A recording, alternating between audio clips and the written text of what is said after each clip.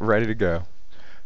Alright, this is the Algebra 2 Practice EOC question 37 and it says which value of x makes this equation true? I'm going to show you guys two ways to do this problem. I'm going to show you the math intensive way and then I'm going to show you the way that you can do it again if you're struggling. It's the end of the year, you're burnt out, and you're just trying to get the best grade you can on the EOC. Okay? Well, again, this is an equation and the first thing that you're going to do if you have 9 times x minus 7 raised to the 4 thirds power equals 9, the first thing you want to do is divide both sides by 9. 9. So you divide both sides of your equation by 9. Well, of course, on the left side, your 9's just cancel out, and you have x minus 7 raised to the 4 thirds power equals, well, 9 divided by 9 is just 1. Okay?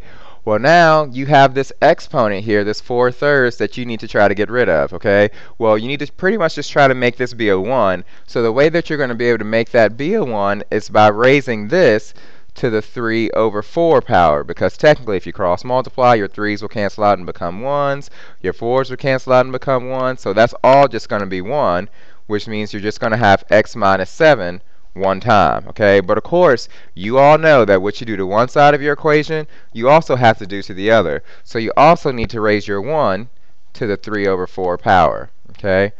Well the way you write 1 to the 3 fourths power as a radical the number on the bottom or the denominator, that's technically the root that it should be raised to, or the root that it should be to. So this is technically a fourth root, okay?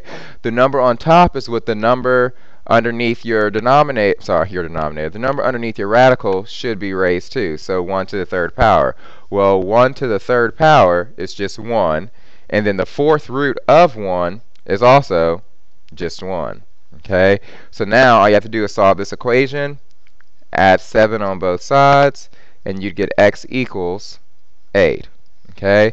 And you're going to find that that's going to be choice C. All right, well, like I said, that's the, the math intensive way to do this type of a problem, but you can also do this problem by using the calculator, okay, and technically just plugging all of those values in, okay. I'm going to go ahead and just plug in 8 because I, we obviously know that that's the correct answer, but you can plug in all these values and it should still get you to 9, okay. So I'm just going to plug in this left side of the equation and once I plug in that left side it should equal 9 as well. So let's go and plug in 9 times. There goes a, a random 9 there. That shouldn't be there.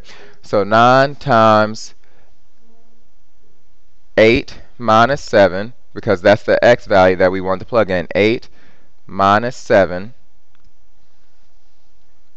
raised to the power, the four thirds power. So I would put that power in parentheses so we re realize that that's the exact power that we're supposed to be raising this to. So put that in parentheses and then press equal and of course you're going to end up getting 9 which is what that other side of that equation was supposed to equal. So like I said you can plug in each one of these numbers and find out which one is going to equal the right side of your equation and in this problem it is still going to be choice C which is 8. Good luck. I hope this helps.